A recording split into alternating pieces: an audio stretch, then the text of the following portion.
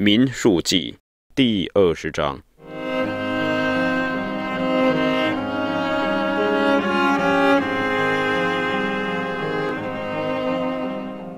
正月间，以色列全会众到了寻的旷野，就住在加迪斯。米利安死在那里，就葬在那里。会众没有水喝，就聚集攻击摩西、亚伦。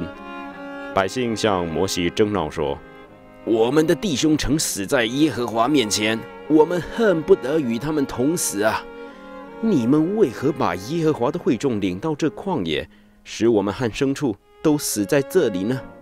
你们为何逼着我们出埃及，领我们到这坏地方？这地方不好撒种，也没有无花果树、葡萄树、石榴树，又没有水喝。摩西、亚伦离开会众，到会幕门口，俯伏在地。耶和华的荣光向他们显现。耶和华小谕摩西说：“你拿着杖去，按你的哥哥亚伦招聚会众。”在他们眼前吩咐磐石发出水来，水就从磐石流出，给会众和他们的牲畜喝。于是，摩西照耶和华所吩咐的，从耶和华面前取了杖去。摩西、亚伦就招聚会众到磐石前。摩西说：“你们这些背叛的人，听我说，我为你们使水从这磐石中流出来吗？”摩西举手用杖击打磐石两下。就有许多水流出来，会众和他们的牲畜都喝了。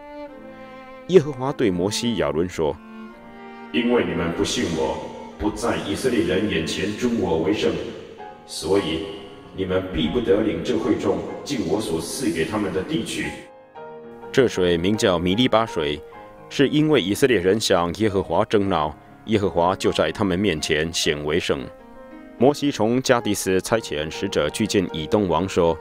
你的弟兄以色列人这样说：我们所遭遇的一切艰难，就是我们的列祖下到埃及，我们在埃及久住，埃及人恶待我们的列祖和我们。我们哀求耶和华的时候，他听了我们的声音，差遣使者把我们从埃及领出来。这事你都知道。如今我们在你边界上的城加蒂斯，求你容我们从你的地经过。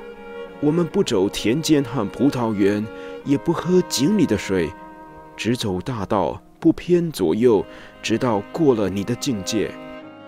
以东王说：“你不可从我的地经过，免得我带刀出去攻击你。”以色列人说：“我们要走大道上去啊！我们和牲畜若喝你的水，必给你价值，不求别的，只求你容我们步行过去。”以东王说。你们不可经过，就率领许多人出来，要用强硬的手攻击以色列人。这样，以东王不肯容以色列人从他们的境界过去，于是他们转去离开他。以色列全会众从加迪斯起行，到了何尔山。耶和华在附近以东边界的何尔山上小谕摩西、亚伦说：“亚伦要归到他列祖那里。”他必不得入我所赐给以色列人的地，因为在米利巴水，你们违背了我的命。你带亚伦和他的儿子以利亚撒上何尔山，把亚伦的圣衣脱下来，给他的儿子以利亚撒穿上。亚伦必死在那里，归他列祖。摩西就照耶和华所吩咐的行，三人当着会众的眼前上了何尔山。